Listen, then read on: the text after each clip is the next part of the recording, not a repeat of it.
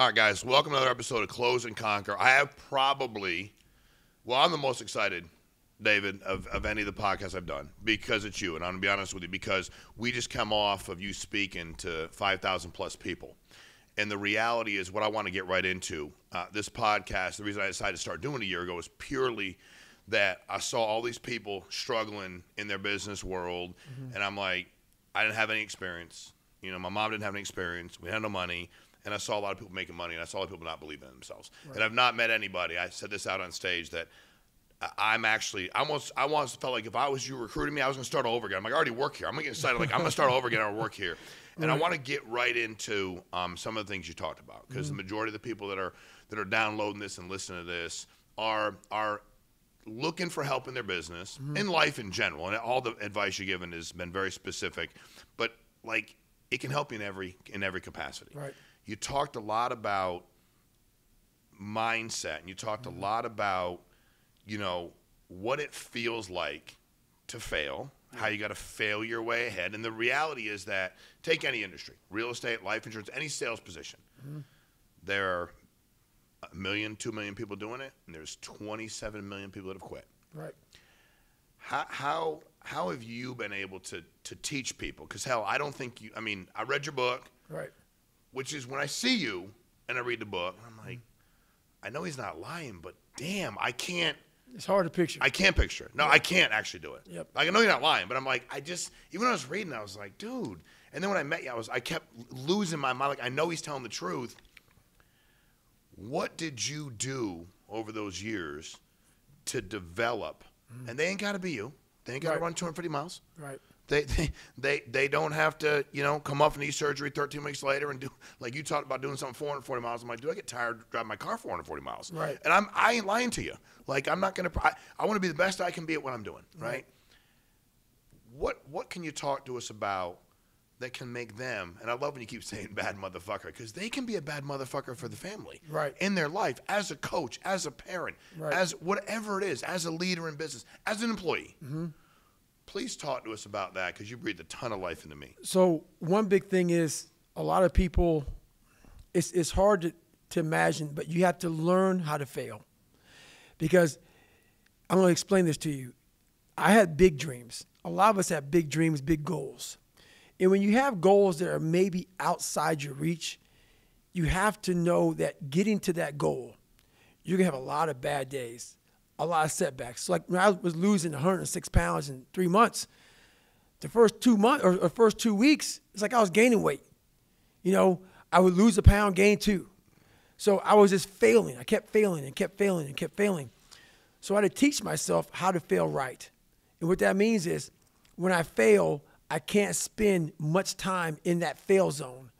I have to be able to get up and get after the next day just as fast because my goals were to, you know, to be a Navy SEAL. I don't have time to stay here and feel bad for myself for weeks and months and years because I'll lose that time. So the big thing is know that if you have big goals and big dreams, along the way, failure is going to happen. So how fast do you get up from that? And you got to teach yourself that.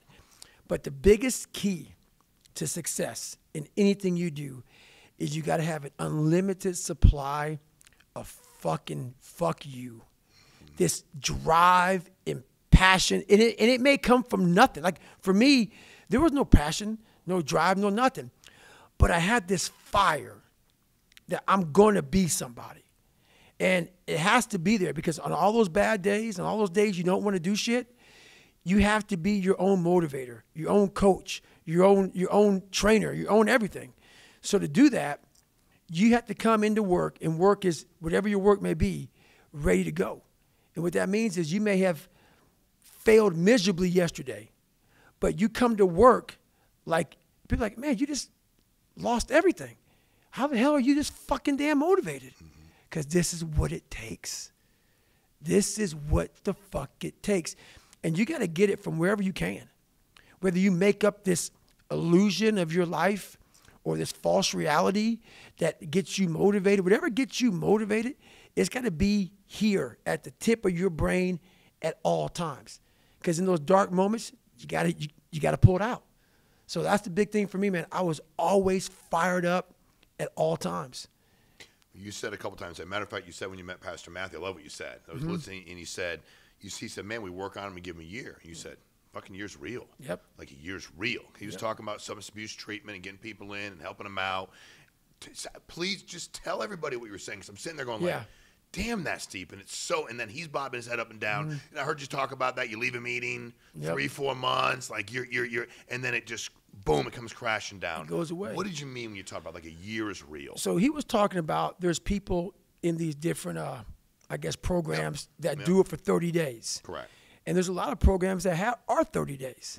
And 30 day programs are good, but it's kind of a hack because while they say it takes three weeks to develop a habit or some, it's always this hacky shit. Whatever it is. Yeah. I'm gonna tell you right now, 30 days ain't gonna do shit for you. The permanent, you wanna make it permanent. Permanent, you start talking about a year, 18 months, two years, that's a sacrifice. And when you commit yourself to something for a year, you're not gonna say, oh, I'm gonna let that go. Because in your mind, you like, I mean, you you have it clear as day. That year took a lot out of me. That year built me. That year started to scrape away all that scar tissue, start to clean me up. 30 days doesn't clean shit up. 30 days just kind of covers up, put a blanket over it. It's like it's like putting a rug over it. A year, it cleans you up nicely, man. Whatever your problem is, if if you can dedicate yourself for a year to something, you could be a changed person. You know what's funny? You said that. and I hadn't thought about it. I was sharing. I've been and I share. I've always shared about being sober because when I got sober, mm-hmm. this dude had been sober about like 15 years. I didn't do a program, but he would have been the closest thing to a mentor. Mm-hmm. And he said, "Tell everybody, peer pressure is powerful. Yep. Like let them know. That's what we do. Any any company, this company, people have been like, you want to drink? I said, if I start drinking, quit. Seriously, mm-hmm. I will not lead you. Yep. You will not want to. You might follow me. To, It'll be a path of destruction. You need to quit, right? And you coach a lot of people. People reach out to you.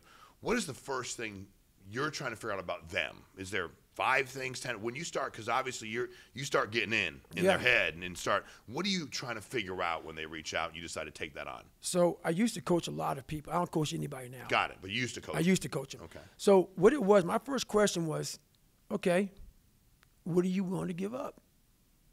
What are you willing to sacrifice? What are you willing to forego? Because a lot of people, like this guy came in one time, I was a, a trainer, and he goes, man, I can stop doing anything but my frappuccinos. I go, fucking leave. Because I'm looking for that person like me. People, people, it's hard for people to understand how I lost 106 pounds in less than three mm-hmm. months. I sat down at the table and I said to myself, what are you willing to give up? Everything. And when people come to me with that kind of ma- mindset, I can work with you. When you are willing to strip yourself down to nothing and give everything, that's who I want to work with. Because now I can mold you into exactly who you want to be. When you put these restrictions up, and that's why, that's why my first question is how bad do you want this? If it's as bad as you want to live or breathe or sleep, whatever the hell it may be, I can work with you. But a lot of people, most people don't want it that badly, which is why they always ask the question, man, how did you get to where you are? You know how to do it. Mm-hmm. You know exactly how to be you or how to be me. You mm-hmm. don't want to do it. So I can't make you do it, and nor do I have the time or energy to force you into that place that I know you have to be to do it. Mm-hmm. There's no luck in this game, man. It may be a little bit of luck, but the luck happens after you bust your ass and you put yourself in that lucky situation. Luck doesn't happen. You put yourself in that situation where luck might fucking happen. And that's what people don't know. But to get there, luck ain't gonna happen. You have to put yourself in that situation, man. It takes a lot of work. So I was thinking about this as I was reading your book, Mm-hmm. and because you know, you go play in the NFL, do you need talent. I Mm-hmm. mean, you can have the greatest mindset in the history of the world, you know, and like, and I'm not saying that you know attitude over talent. I get all that, Yep. but I've seen some pretty pretty fucked up attitudes for professional athletes who still they're just really talented, dude. Yep. Because it requires talent. What you do is, you know, you said I'm not superhuman, it's not supernatural Do you think? 'cause I'm just curious. Now, it's tr- straight curiosity. Yep. Do you think that anybody, because the stuff you do when you talk about it, Mm-hmm. biking across the country, not across your town Right. or your state, running that many miles, Mm-hmm. it doesn't necessarily require athletic talent. Like you don't have to be born. Okay. Mm-hmm. Do you think that anybody, that and it's and not about when they finish. They don't need to finish second or twentieth or. The, Right. Do you think anybody that put their mind to it Mm-hmm. and did the training and gave up everything could do some of those races? Yes. You do. But they cannot do it with my body. Got it. Explain that. if you're healthy, I've never been healthy. Like people think that the races I did in the military broke me. I was broken way before then. Numerous health problems before I even got in the military. Really? Numerous. I'm talking about like, you know, you're talking about like sickle cell, Yeah, I remember that. twisted body from all the stress I was under as a kid. Different, just a lot of different problems. Thyroid issue, adrenal issues, all kind of shit. That you had when you were young. Yes. Okay. And so then they got magnified as I got older. So I would go to the start line of a race, like Badwater, the 135 mile race to Death Valley. No one knows this. But if you go back, and there's videos of me out there, Google David Goggins' first video or, or first uh, Badwater race, you will see black compression tape on my ankles. I had broken feet at the start line of a 135 mile race. How Your I feet were broken. broken. And if you go back, you will see as I'm finishing the race, you will see this black compression tape floating behind me. I went to the start line of that race. I trained for that race with broken fucking feet. And I don't talk about a lot because what happens is normal people with normal minds can't understand that. So then you become a liar or this and that. But now I got to the point in my life where I'm like, go fuck yourself, dude. If you don't believe it, go ahead. But I don't talk about a lot because I, I know what I've done and I know what the mind can do and where it can take you. I've experienced it over and over, and my mom has seen it over and over and over again to the point where it's almost like I can't even believe sometimes, but I'm willing to go there. I want to push myself to that limit and see what happens. But you think health people that don't have any health problems, Mm-hmm. you think that they could go Yes, do these deals? I think yes, hundred percent, Really? hundred percent, Because the majority of people think there's no way they could ever do it. and that's the reason why they can't do it. There you go. That's the only reason they have already put their cap on their success in life. And that's why most people aren't sitting where you're sitting or sitting where I'm sitting. You never capped yourself. You might have. And if you did, you took it off. 100%. People cap themselves. They look at somebody, and because their mind can't imagine it, they then start talking shit. This he has to be doing this, or he has to be doing that. There has to be some trick. There has to be some potion. This is bullshit. No, it's because you cannot allow your mind to open up for the possibility of it can be done, which is why you, you being people, Yeah. are where they are today Yeah. because you have not you shackled your mind to have limits and everybody has a limit mm-hmm. but find it first You got a limit?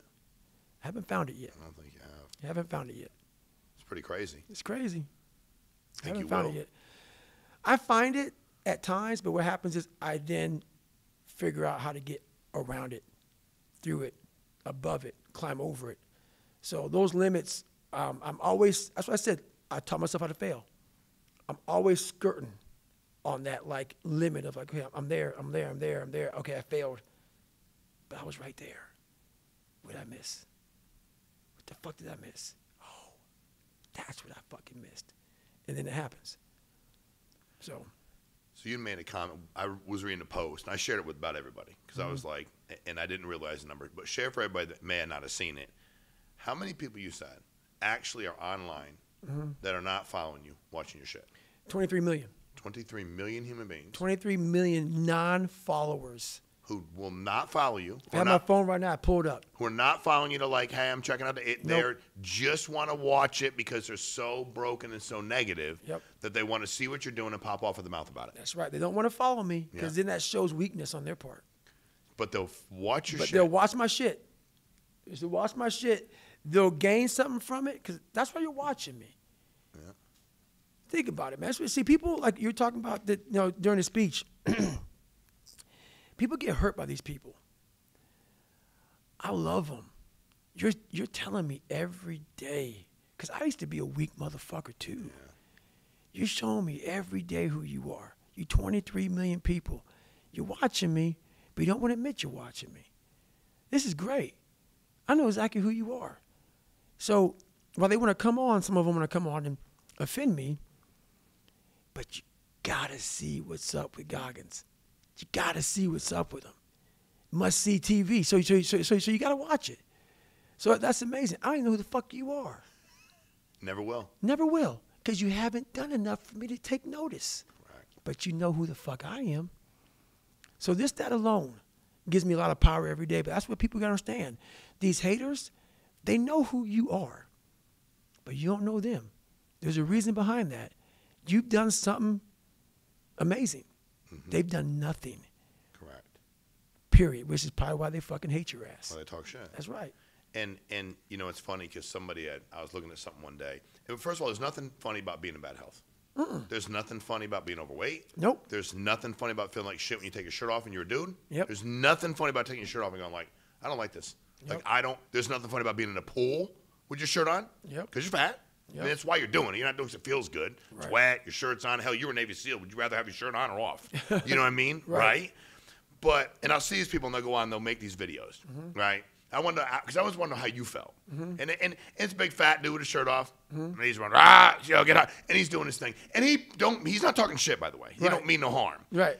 When you see, uh, if you ever see him, I don't know if you ever see him or not. I've been, I've been. People have shown me him a lot. How do you A feel about people. those? I'm more just because I'm just morbidly curious. I feel bad for him. Yeah. Um, not because uh, for a lot of reasons. First of all, if maybe you took your life more serious, Yeah. lose some fucking weight versus trying to imitate David Goggins. Yeah. First thing, but second thing is, where you going? what do you want to do with your life, bro? Like you're, you saw David Goggins, and because now you want some followers, I'm going to imitate David Goggins. And I'm going to be a fat, big old fat white dude. That's right. That runs and sp- spills a bunch of shit. While it may be funny, where the fuck are you going? Correct. You you, you look like late twenties, early thirties. Yeah. Where the fuck are you going, bro? Not very long or Like far. life right now needs to really be kicking you in the back of the head saying, look, man, our time frame is done. Because what people don't get about life is up until you're about 30, you're fucked. You know what you're doing. You're kind of just scrambling around mm-hmm. unless you have good direction.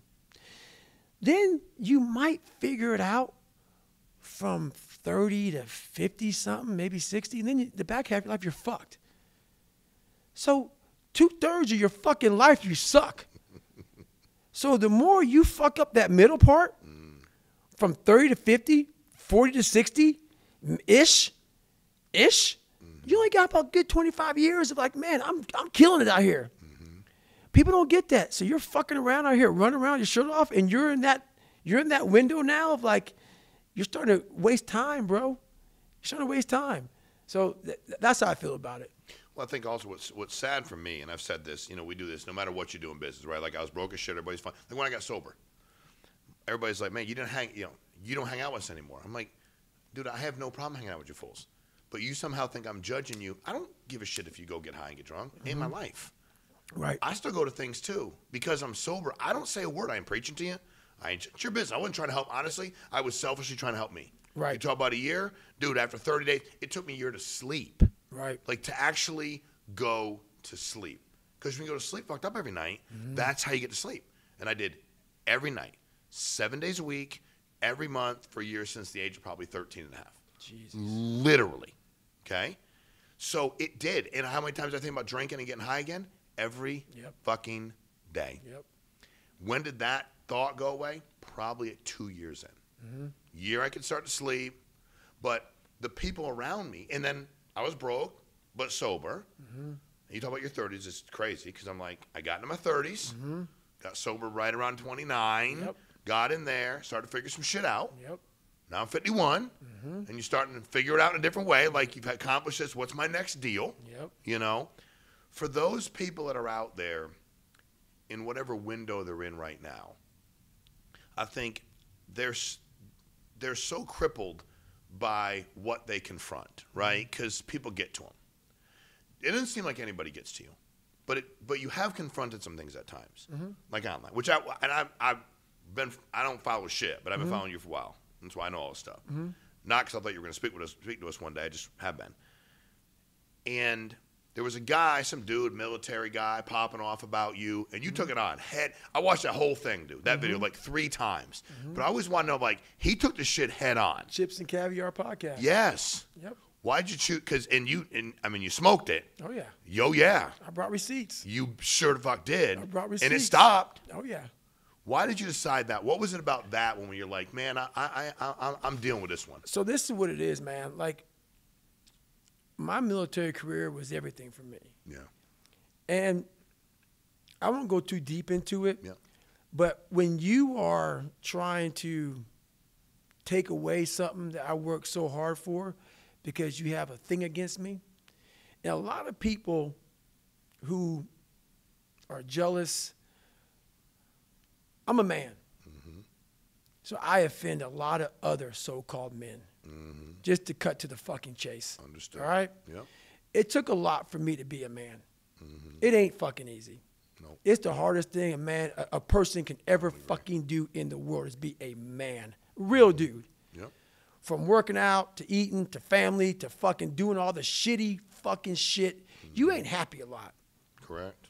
a lot. So, True. so all this fucking shit that people want to talk about, oh man, I ain't happy a lot. all right, I ain't supposed to be. So when you live that way, and people know you ain't fucking lying, and they saw the work you put in, it makes a motherfucker feel alpha. makes the alpha feel a little bit weird around you. Mm-hmm. So after a while, when you exceed the standards of the military, exceed the standards of Navy SEALs, and you're constantly going to this direction, you're some fat, dumb black dude couldn't swim. Mm-hmm. Now you exceeding the standard, starts to rub some people the wrong way. And I would tell people about it. Not like talking shit to them, but we gotta be better. Like like I talked to that ranger back there. Yep. Sure did. It's who the fuck we are, man. That's, That's what we right. gotta do. So when you try to take that from me, I'm gonna I'm not I don't care who likes me. I'm going to attack you head on.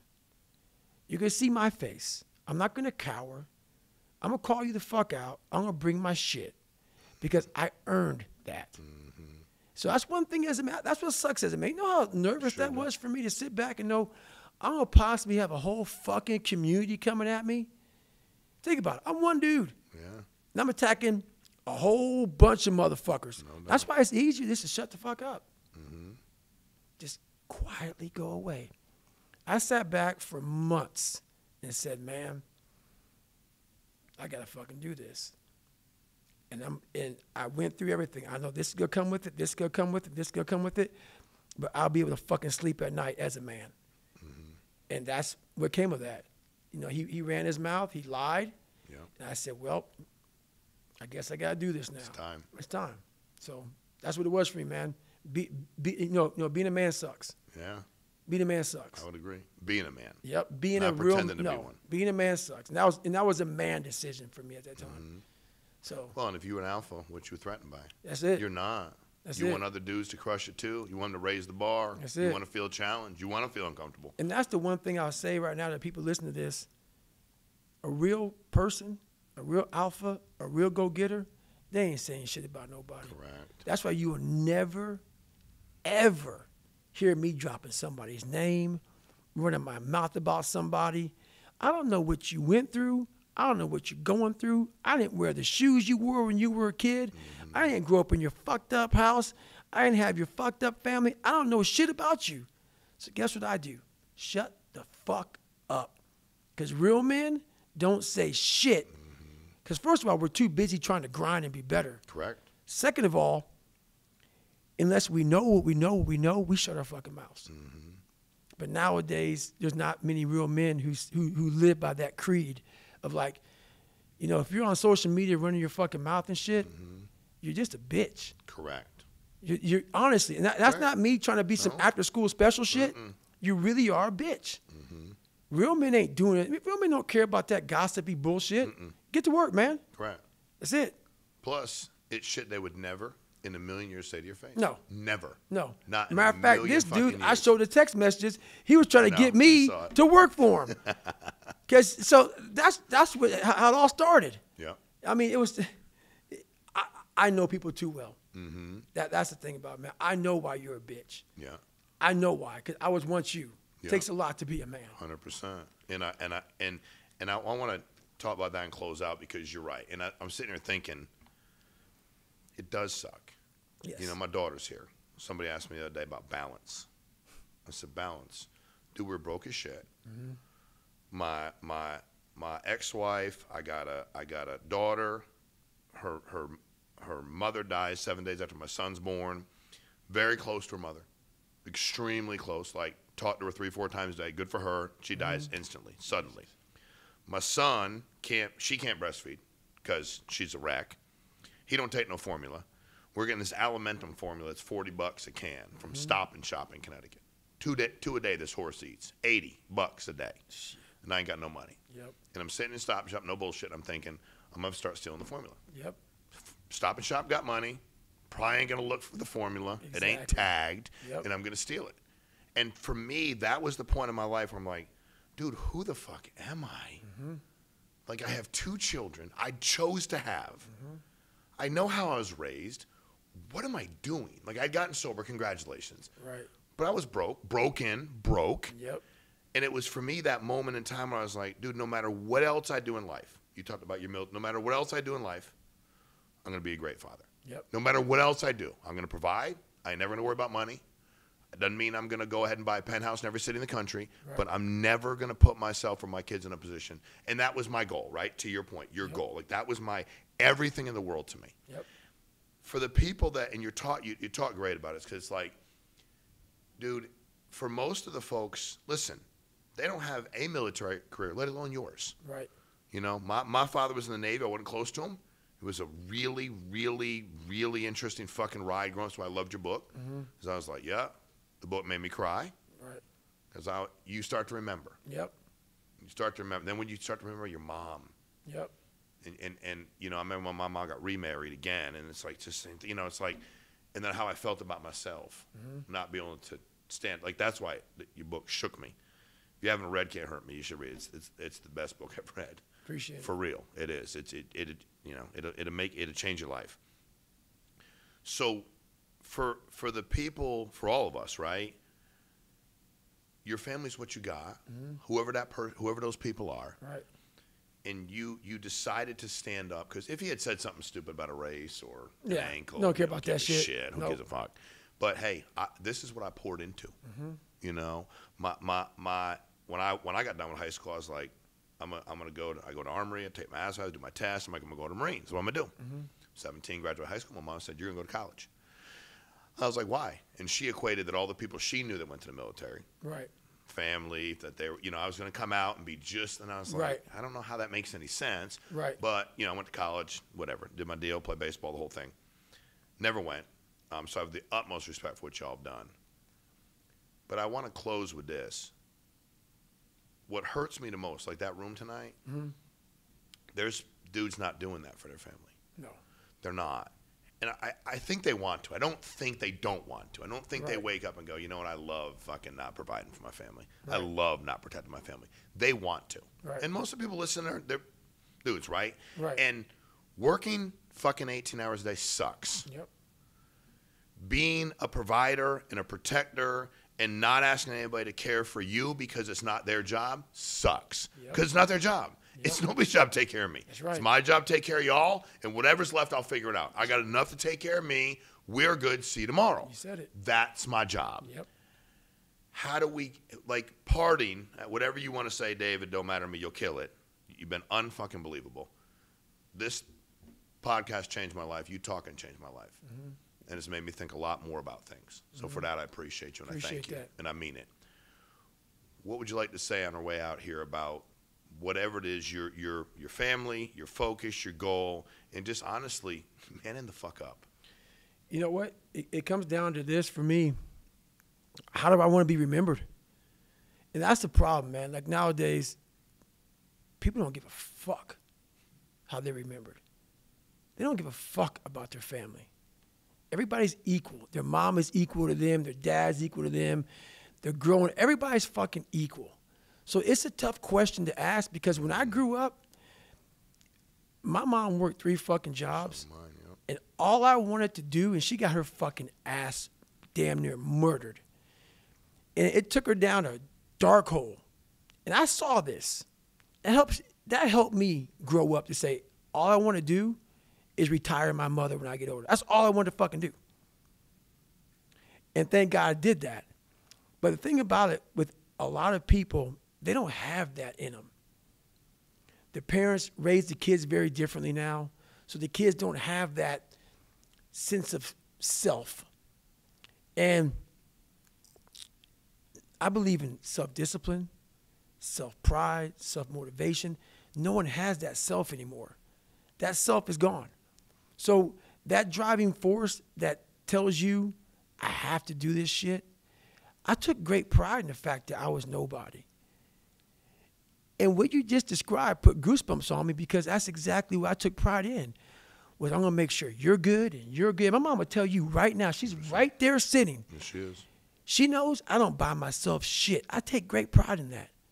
I don't want shit. Because how I'm wired, I'm wired to, hey mom, I'm gonna get you this, this, this, and this.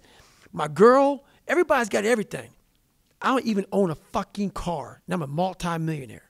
And I say that with pride. Yeah. Because what I was here to do as a man, and men may not even want to hear this, it sounds so barbaric. That's the pride in which you have as a man. Is that you see your mom, you see your girl, you see your kids, you see all this shit, you see them doing well. That's all a real man wants. Mm-hmm. They don't give a fuck about how they dress, how they look, what they're mm-hmm. driving. They don't give a shit. Because why? Your trophies are your family, and they're all walking around. Every man that sees you, they they see you walking in with some sweatpants and shit, but they know your family's fucking balling. Right. Because you put the fucking time in, you put the effort in, you put the work in. And as a man, we don't want none of that shit. We just want fucking respect. Amen. And that's what men don't give a fuck about now. But the only thing I want is for my family to look at me and say, that's the man. Mm-hmm. Right there. And men don't fucking have that. They don't know what that feels like. So until you know what that feels like, you're never going to seek that feeling of when things are bad, my family looks to me mm-hmm. As they should. as they should. That's your job. That is my fucking job. Mm-hmm. And I earned that. It's not given because you wake up and you're a man. And it feels real good. It feels amazing. When anything goes wrong in my family, if there's a flat tire, they don't call fucking AAA. They call David fucking Goggins. Mom's got a problem? David. My mom's sick? David. She don't call the fucking doctors, David. Anybody, they call David. And that's earned. And that's a good feeling. And I would challenge men to try that. Try that. Try that for a couple of days. Try working those 20 hour shifts and coming home and having your girl have a meal at home. I guarantee your girl looks at you very different. Every day you come home and you're dirty as fuck, or you or you're just tired and you and she knows you're only getting four hours of sleep, and then when you go to work, she's sleeping mm-hmm. because it's four o'clock in the fucking morning, and you look at her, she knows what kind of mm-hmm. man she's got. Mm-hmm. Your mom knows, your dad knows what kind of son they have. Yeah. They don't know that feeling. It's the best feeling in the fucking world. It Money is. can't buy it, nothing True. can buy it. So it's just something that we almost can't teach our kids anymore because the world is influencing people from all over. Once they leave your house, you got this weak family and that weak family and that weak family saying, Why is your dad like that? Why are you mm-hmm. doing that? Mm-hmm. So it's hard to keep it, man. Tell you what, though, once you try it, you might become fucking addicted it's to it. addicted. And you don't want to give it That's up. That's right. It's very you're addictive. 100% right. You're My right. daughter down there looking at me, knowing that no matter what happens, That's right. she'll call nobody else. My dad got me. it's me. Yep. No matter where he is, what time it is, it's me. He's got the and answer. I'm gonna come out and figure it the fuck out. That's right. And you all better hope you're not fucking with her. Think about it. everybody dies. Think about it. Mm-hmm. And how can you not want that? How can you not want that? That's old school savagery, bro. Hundred percent. Old school savagery. Dude, I cannot. I love you. I mean, you are an old school savage. There ain't many left. Yes, sir. But I appreciate you being on here. I appreciate you jumping on Close and Conquer. I appreciate what you did today for those people. And you are changing lives. Your legacy, Thank you. there's going to be a lot of motherfucking people. I mean, like that guy downstairs. I changed my life. That dude could be dead Right. because of that weight Right. and because of you. And no, nobody credit. He don't even know what day it is. He's walking around in the meeting. He don't even look at the agenda. Right. He talks about David Goggins, and you show up. So it's it's. I appreciate what you're doing, man. And uh, we need more people in the world like you. So I appreciate y'all, guys. This has been amazing. Um, I'm, you probably already followed David Goggins if you don't live like under a rock somewhere. But David, I appreciate you jumping on Close and Conquer. If you like this, share, subscribe, send it to everybody you know. This was unfreaking believable. And they, I'm not even going to tell you that we're going to put you another link or another video because just watch this podcast. Not. Th- I'm telling you this. If you will listen, if you will put the bullshit aside and just listen. And by the way, let it hurt. Let it hurt. Yep. There's nothing wrong with it hurting. No. Let it hurt. It's necessary. That's very necessary. You know, I decided to get sober because a dude pulled me aside at work named Mike, Mike Rooney. And he looked at me, and he was an old school dude. Been around the block, grew up in tough area. I Mm-hmm. Those related to him right away. Yep. And he said to me, uh, When are you going to stop drinking? Didn't even know I got high, just knew I drank a lot. Mm-hmm. And I said, I don't know. He said, Don't have any children, because my, my ex wife worked with me at the state, Mm-hmm. social worker. Don't have any children with her if you're not going to fucking get sober. Just like that. That's exactly what he said. And I was half pissed. And here's a guy I can smack the shit out Oh, of. yeah. I was, oh, like I would have, I mean, but I respected him. Yep. And he had the balls Yep. to tell me what I needed to hear. Yep. Had he not pulled me aside and had that conversation, I could have been dead in a car accident, Yep. in jail. But that's what shook me. I kept until she wanted to have kids, and I'm like, how do I bring kids? Like when it was just me, I was fine. Yep. Sounds messed up, but it was just screwing up my life. I was like, I'm good. She was supportive. I'd be all thought, but kids, Yep. because he pour into me. That's what you do to people every day. You know what's sad? What that guy did to you, that's a lost art form now. Yeah. You almost can't do it now. You almost can't do it. You almost, you almost can't talk to people in that way. Like, hey, man, he changed your life, but that was mm-hmm. a tough Sure fucking was. conversation. You better dude. believe it was. Like, those are fighting words, bro. You better believe it. Like, I don't fuck and that was my first thing I thought. Yeah. But I respected him. Yep. And I would have bitch slapped him, so it wouldn't have been much of a fight. but that's the hard thing. But it hurt. It hurt. And he it was real. Yep. He was real. yeah. It was he was real as fuck. And I've had a couple of those with myself, Mm-hmm. and they hurt. Yeah. Like when I had that accountability mirror, man, and I looked in there, I said, man, and I listed all the fucking things that I wasn't. And I said, God, this is a fucking long road, bro. and it hurt. Well, I'll tell you what, man. I uh, it does. Yep. But but the crazy thing is that when you uh, when you let it hurt and you listen, and we can bring that back. I mean, I agree it's lost art. But what if more of us decide it's okay? Mm-hmm. Oh, yeah. What if more of us decide like talk to me like that, bro? Yeah. Like I think there's more people. I did this uh, podcast, young kid, and I said, and it you know it did well and whatever else, and I said, dude, you're like 23. Mm-hmm. Why did it do so well? And he goes, because my generation, I know it gets a bad rap. Mm-hmm. He said, but dude, there's a lot of dudes that want old school coaching. Doesn't mean mm-hmm. everybody does. Right. But once they start getting the taste of it, because mm-hmm. guess what starts to come out? Oh, yeah. That manhood starts to come out. Oh, yeah. That that, feeling good. starts Yep. to come out. And all of a sudden, I'm addicted to that feeling, not to that, not to that, not to that. Exactly. Because it is freaking addicting. we'll right. tell you what, bro, you got it. I love and appreciate you, man. It was Respect. amazing. Thank, Thank you very much. Guys, I appreciate y'all. Have a great day. Thanks for jumping on Close and Conquer.